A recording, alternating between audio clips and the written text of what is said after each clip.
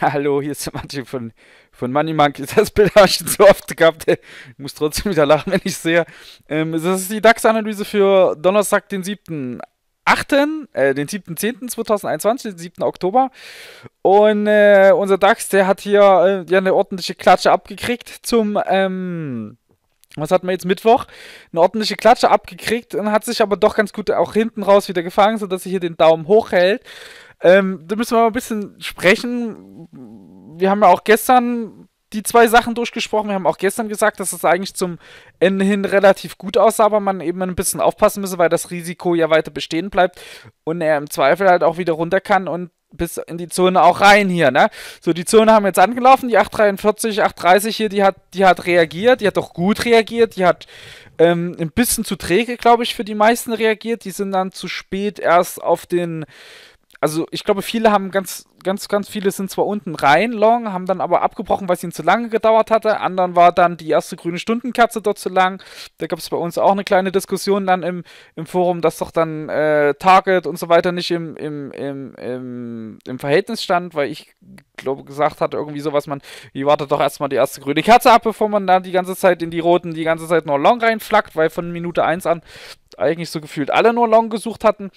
Und das passt eigentlich auch gut zu dem, was mir, was mir gestern gesagt haben. Wir haben ja, ich habe ja gestern gesagt, dass, die, dass man da ein bisschen aufpassen muss, weil wirklich viele, viele, viele Longs sind und sowas immer kontraindikativ ist. Und auch Long denken, auch im WTI unheimlich viele Long wollten. Ne? Und jetzt gucken, guckt man, was der DAX direkt danach gemacht hat, was der WTI direkt danach gemacht hat. Es ist halt immer so, wenn, wenn so eine Häufung kommt, ne, von, ich sag mal, Privatanlegern, die plötzlich alle das Gleiche denken, alle plötzlich sagen, sie wollen WTI Long 80 und hoch bis, bis in, die, in die 100 rein, dann ist das immer so ein kleines Achtungssignal, wie es eben auch gestern Abend so war, dass plötzlich alle bei uns irgendwie long wollten halt, ne? Und das, das, das, das sind dann immer so kleine Warnsignale. Hier ist jetzt auch wieder so diese ähm, vorzunehmen gewesen, diese, diese Stimmung, das dreht da eh alles und das steigt jetzt alles wieder nach oben. Ähm, Punkt 1. Wir haben ein tieferes Tief bekommen. Jack. Wir haben ein Ziel angelaufen. Jack. Das Ziel hat gut reagiert. Okay. Wir haben kein höheres Hoch und keinen Abwärtstrend gebrochen. Das heißt, per se ist der DAX eigentlich noch im intakten Abwärtstrend. Er ist jetzt bloß zum Abend hin ganz gut wieder hochgekommen. Heißt aber auch, wenn der sich zum Donnerstag nun nach unten arbeitet, dass man durchaus nochmal davon ausgehen muss, dass der da unten ranrennt. Und mit unten ranrennen würde ich jetzt hier mal vielleicht nicht unbedingt die 14,8 30 ranziehen. Weil ich glaube, der dreht sich eher hoch. Der ist nämlich jetzt hier ganz schön hoch und hat die Leute ganz schön angestängert. Und ich glaube, da, ähm, da warten nicht viele auf das neue Tief. Die werfen eher hin. Die werfen hin, wettig bei 15,29 drunter. 15,29 bis, ich sag mal, 15,80. Das wird ein Bereich, in dem viele ihre Longs abbrechen, die sie vielleicht jetzt am Abend geholt haben. Und damit wäre das Niveau für den DAX eigentlich vollkommen ausreichend, um da mal reinzustechen. Das heißt, sollte der DAX zum Donnerstag auf der Unterseite aktiv werden, rote Kerzen schrauben, rote Stundenkerzen schieben, könnte ich mir gut vorstellen, dass wir da nochmal reingehen. In die 29, rein in die 8. 80, 865 vielleicht so in dem Bereich das neue Tief auslassen ähm, und zur Seite starten. Das wäre für mich jetzt zum Donnerstag ähm, ja fast das Wahrscheinlichste, dass wir zur Seite starken. Also, also, ähm, was meine ich mit starken? Dass er, dass er einfach nur oben und unten sticht, ähm, Schatten an den Tageskerzenkörper setzt und ähm, relativ unverändert dann aber aus dem Handel geht und vielleicht sogar uh, etwas tiefer. Weil wir haben im Xetra tatsächlich den ersten Tagesschluss unter der 200-Tage-Linie bekommen. In meinem 8 bis 22 Uhr hat er das noch vermeiden können. Da sind bis jetzt alle Tagesschlusskurse drüber, aber der Xetra hat tatsächlich jetzt den ersten Tagesschluss unter der 200-Tage-Linie bekommen. Und wenn ich so die Einzelwerte im DAX angucke, da gibt es ein paar, die haben sich schon ein bisschen so in, in also eigentlich so fast 50-50, ne? Die einen, die sehen so ein bisschen aus, wie jetzt ziehen sie jetzt eine ordentliche Erholung an und die anderen, die haben auch ganz schön noch Platz unten. und äh, da, dadurch könnte ich mir vorstellen, dass die, die so aussehen, wie als wollen sie nach oben anziehen, dass sie auch tatsächlich versuchen, nach oben anzuziehen, die anderen Runde drücken und dadurch der DAX einfach nur hin und her steht. Ne? Dass er nur hin und her getragen wird und auf der Seite stehen bleibt. Wir hätten oben, wenn der Kerl oberhalb der, ich sag mal, 15.110 weiterarbeitet. Zum Donnerstag. Könnte ich mir vorstellen, dass er das Gap zumacht. An der 15.1 75 rum und auch das bei 15,245. Das würde ich nicht außer Acht lassen, das ist noch mit hier da, das ist ein markanter Punkt und dann würde ich würde ich sehr genau hingucken, weil wenn dort harte rote Stundenkerzen kommen, kann er von dort auch die komplette Rutsche wieder zurück und auch locker von dort an die 15.000 wieder ran und auch an die 14.900. 14.900 bleibt für mich relativ wichtig jetzt zum Donnerstag. Könnte ich mir vorstellen, dass wir die sehen. Ähm, würde aber, muss ich ganz klar so sagen, oberhalb jetzt nicht zu früh Short suchen. Weil es ist ein kleines halbes V und er kann das auch ganz machen. Und wie das im DAX so ist, dann haut er halt auch erstmal alles raus, was rauszuhauen geht. Und ich glaube, da liegt relativ viel auch von der Stoppgemengelage hier in dem Bereich, sodass es gut passen würde, wenn er hier gerade hoch steht. So eine richtig schöne, berstische, grüne Bewegung mit nur grünen Kerzen, wenn er früh durchdreht. Glaube ich, bleibt er auf grün, schiebt sich am Stück durch und dann kommt er langsam wieder runtergekleckert. Und dann kommt er runtergekleckert, runtergekleckert und steht plötzlich wieder hier. Und das würde ich, könnte ich mir Stand hier ganz, ganz gut vorstellen. Und würde auf jeden Fall erstmal das Risiko auch unterseitig, so wie wir das gestern gesagt haben, noch offen halten. Also das ist nichts passiert. Also ja, er hat das neue Tief gut verteidigt, aber er hat auch ein wichtiges Ziel angelaufen. Also das ist vollkommen okay, dass er reagiert.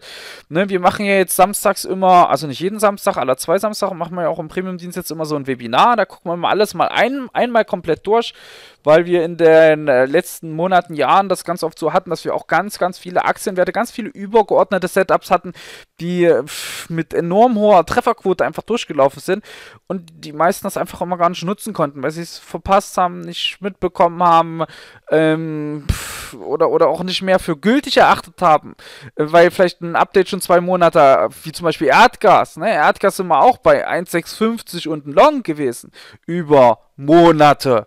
Na? Ne? Und sowas, das haben halt viele dann aus dem Augen verloren, nicht mehr als gültig erachtet und deswegen machen wir jetzt immer alle zwei Wochen ähm, einen, einen Samstagswebinar, wo wir über zwei Stunden mal so alles durchklickern, was noch so aktuell ist und so weiter und so fort. Und da haben wir auch über den DAX drüber gesprochen, auch über die Tagessituation und dass ich schon davon ausgehe, dass der hier unten reinsteht. Und deswegen haben wir ja auch hier diese Pfeile gesetzt, der ist jetzt erstmal hier unten gewesen. Er war noch nicht drunter, ich könnte mir vorstellen, dass wir auch nochmal drunter gehen. Ähm, und arbeitet jetzt wieder nach oben. Ähm, ich kann mir gut vorstellen, dass der hier noch ein bisschen kleben bleibt. Ne? Also das war auch meine Erwartungshaltung. Das wollte ich jetzt eigentlich erzählen. Im Samstagswebinar haben wir darüber gesprochen, dass ich schon davon ausgehe, dass der hier in dem Bereich halt einfach auch ein bisschen rumpendeln kann. Und das vielleicht nicht unbedingt einmal. Und das würde jetzt eigentlich zum Donnerstag eben auch ganz gut passen, wenn er jetzt ähm, hier wieder drunter und dann vielleicht von dort auch sogar schon wieder hochkommt. Ohne jetzt mal ein neues Tief zu setzen. Weil wir sind auch schon ein ganzes Stück gelaufen. Wenn ich auf Wochensicht, auf Monatssicht gucke, ist eine 14.800 schon auch ein guter Fortschritt. Das heißt, er er muss da jetzt nicht brachial wie ein Stein runter, um weiterzukommen. Er kann auch einfach hier auf der Seite bleiben. Das ist okay. Und deswegen würde ich mir einfach angucken, wie verhält er sich jetzt oben im Bereich um 15.175. Wenn er jetzt weiter hochdrückt, ähm, dann glaube ich, geht er da rein. Ich glaube, wenn er da reingeht, geht er auch noch in die 245. Wird mir dann genau angucken, wie dreht er hier ein. Dreht er hier nämlich ein, dann kommt er von da wieder komplett runtergeschmiert. Dreht er hier nicht ein, dann geht er noch bis an die rote Linie dran und von dort kann er auch nochmal wegdrehen. Also so, jetzt bullig zu werden und zu sagen, 16.000, wir kommen, so bin ich eigentlich, muss ich sagen, nicht drauf. Ja, ne? also das ist für mich schon noch negative Chartlage. Wir haben fallende Tiefs, wir haben fallende Hochs und er hat das jetzt gut erholt. Ich denke, da kann auch noch mehr draus werden, ja, ne, dass er noch nach oben stellen kann. Aber wenn er wieder nach unten arbeitet, würde ich ihm unten auch Platz lassen. Ne? Also definitiv. Und wie gesagt, ich kann mir das gut vorstellen, dass er gar kein neues Tief dann zum Donnerstag überhaupt hinkriegt, sondern dass er eher hochdreht. Und einfach hier in der Spanne der letzten Tage, ja, wenn man die mal so zusammenfasst, vielleicht die Woche, die Woche zusammenfasst, dass er die, vielleicht sogar die komplette Spanne einmal zum Donnerstag abläuft, von oben nach unten und von unten nach oben. Das würde auch zu einem Donnerstag ganz gut passen und ich könnte mir das auf die Situation jetzt eigentlich auch gut vorstellen. Na? Also gehen wir über 1580 raus, über 15100 raus, ein bisschen Zurückhaltung vielleicht auf der Short-Seite, kann hilfreich sein, ne, solange der nach oben durchbollert, weil das ist eine gute Strecke, die erreichen kann. Ähm, und dann würde ich hier sehr gut hingucken, kommen hier rote Kerzen, kommen rote Kerzen, kann man durchaus schon probieren. Kommen keine rote Kerzen, steigt durch, ähm, geht auch noch Platz auf, würde ich aber so zurückstellen. Ich glaube, wir spielen den Donnerstag in dem Bereich hier. Ja, und wie gesagt, so wie wir es gestern gesagt haben, vergesst das Risiko auf der Unterseite nicht. Ja, also auch wenn der Tageschart hier eine super Kerze wieder nach oben gestellt hat, ich habe das gestern schon gesagt, auch am Freitag haben wir drüber gesprochen, die grünen Kerzen oder die tollen Kerzen, die bringen halt nichts, wenn der DAX am nächsten Tag nicht über der Kerze rausarbeitet. Ja, und das hat er bis jetzt an keinem der Tage gemacht, wo es gut aussah. Er ist immer wieder mit Abwärtsgap reingekommen. Und auch wenn das jetzt hier nach einem mega Hammer aussieht, ähm, wenn da jetzt noch ein Doji daneben kommt, dann ist das auch schon wieder fast vergessen halt. Ne? Also da will ich auch wirklich sehen, dass er über dem Tag halt auch rausarbeitet. Über der 1480 rausgeht, über der 14100 rausgeht. Dann denke ich, dann kann er ein bisschen Bewegung bringen. Na, ne? also dann kann er, dann sollte man ihm auch den, den Lauf oben lassen, dass er sich ein bisschen austoben kann. Aber das Risiko unten würde ich noch nicht abhaken. Ja, wir waren unter der 200-Tag-Linie schon mal. Na, also, das ist schon eine Ansage auch. Ja, und deswegen, ich lasse das Risiko unten noch ein bisschen bedacht, gebe ihm aber einen Raum, dass er sich austoben kann, verlange nicht zu viel von ihm, er muss nicht wie ein Stein am Stück fallen. Ne, gucke mir daher die, die, die genannten Zonen hier ganz genau an, auch den Bereich und sollte doch ein neues Tief kommen, habt hier unten die Marken, an denen ihr euch ein bisschen orientieren kann, könnt, wo dann ähm, die, nächsten, die nächsten Bewegungspunkte sind. Besonders interessant wäre eigentlich, finde ich, ja, wenn jetzt wirklich neue Tiefs kommen. Ich rechne da zum Donnerstag nicht mit. Ja, aber Sollten sie kommen, fände ich eigentlich eher mehr den Bereich dann interessant. Hier um die 14.600 als als nächste Anlaufstation. Ja, aber glaube gar nicht so, dass das jetzt relevant wird. Wir gucken mal, wie er reinkommt. Bei positivem Start, wie gesagt, in das Gap rein und in das andere, das darf man nicht vergessen. Und äh, drückt es sich runter, kann ich mir gut vorstellen, dass wir im Bereich um 29 bis 8,65 Stops rausholen und dann erstmal auch wieder nach oben vielleicht sogar laufen halt. Ne? Das wäre meine Erwartungshaltung für den Donnerstag. Gut, damit würde ich es auch belassen wollen. Denke, das ist okay. Ähm, wir haben über die Punkte gesprochen, über meine Erwartungshaltung. Und ja, lass mal reinkommen. Lass mal reinkommen und dann schlacht man ab. Kann sich jeder seine Punkte dann rausschneiden. Und äh, ich glaube, die, die der, der, der interessanteste Bereich zum Donnerstag ist der und das ist der. Hier in dem Bereich zwischen 920 und 860 und oben, sag mal, von 185 bis 245. Ist vielleicht so 265, 280. Der muss ja irgendwie da oben ein bisschen, der muss ja da ein bisschen Unfug machen, ne? So schön, schön aussehen, dass da schön viele Long reingehen und Shorts abbrechen und dann rasiert er das wieder nach unten. So wie es die ganzen Tage jetzt gemacht hat. Ja, und solange wir da noch nichts anderes sehen, solange er nicht aus dem Bewegungsmuster reingeht, bleibe ich da auch erstmal, folge ihm dabei ne, und unterstelle das auch tatsächlich, dass es wieder macht, ähm, weil ich, das ist halt, das ist halt das Muster seiner Bewegung aktuell. Ne? Und solange er das Bewegungsverhalten jetzt nicht ändert und da drin bleibt, ähm, führe ich das geistig erstmal weiter fort. Ich wünsche euch was, gutes Gelingen.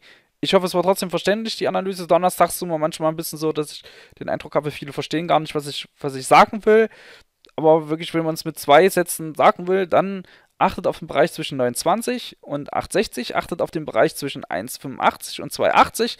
Ich denke, dass wir dazwischen hin und her laufen können und deswegen sind Umkehrsignale dort besonders wertvoll. Es gibt keine Präferenz, ob hoch oder runter für den Donnerstag, weil ich davon ausgehe, dass es ein Seitwärtstag wird. Punkt. Ja, fertig. So könnte man es zusammenfassen. Vielleicht hilft das ja besser.